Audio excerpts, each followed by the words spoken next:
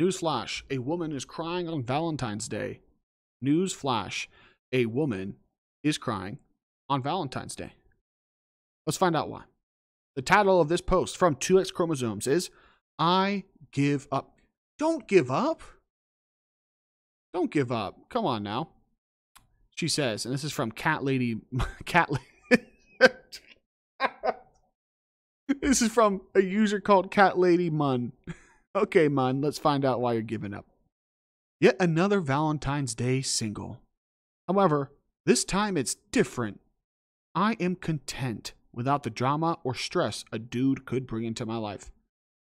Yeah, so I don't want to just call anything cope, right? But like usually people that want a relationship, want a lover, uh, they don't focus on the negative, they focus on the positive.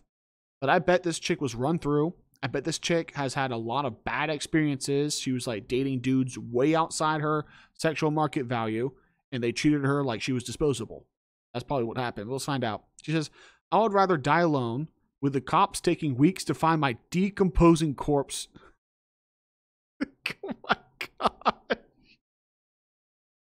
I would rather die alone with the cops finding my decomposing corpse soaking into the furniture while being eaten alive by cats than ever being mistreated, abused, or disrespected ever again.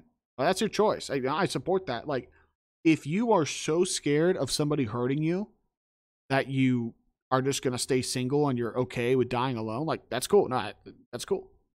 The problem is, like, the dying alone isn't the bad part. The bad part are the decades that you live alone and no one's there to help you with anything. The pain, the emotional pain, the loneliness. Um, men in general can handle loneliness better.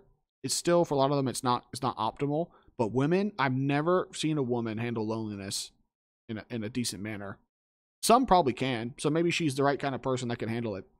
She says, It would be far more dignified that way than the humiliation of my stupid, gullible, autistic arse being disrespected, manipulated, coerced, and degraded over and over again.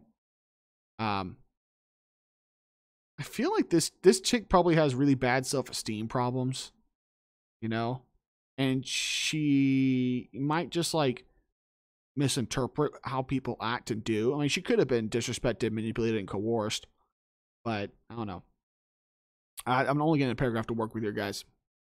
Besides, I'd be giving the precious floofs a meal so they would survive long enough for the cops to find them a home. Dig in, kitties. Yeah, cats cats aren't supposed to eat human flesh. That's bad for them, especially if it's decaying. Like it's gonna take a couple weeks. Your body's gonna rot. Your cats are gonna eat it your cats are gonna die. How about like instead when you're super old and like close to whatever, you arrange someone to visit you once a day? So like you do die, the cats don't have to eat rotting human flesh. If you love your cats, that is. Um, just this is just a practical point. The top comment is another Valentine's Day single. There's nothing wrong with it. Yeah, there's there's nothing wrong with it. Nothing wrong with it. But I bet this woman is absolutely delusional when it comes to the kind of man she should get. Right? That's what that's what I think. I think she's going for dudes that are, you know are above her in her sexual marketplace value, and they treat her bad because they can, because they can just find another quote stupid, gullible, artistic arse unquote. But you know, I'm okay with people being alone. So good luck with you, chick. But uh, a lot of guys, this is they they they deal with this for years and they don't need to bitch and moan about it to their sisters.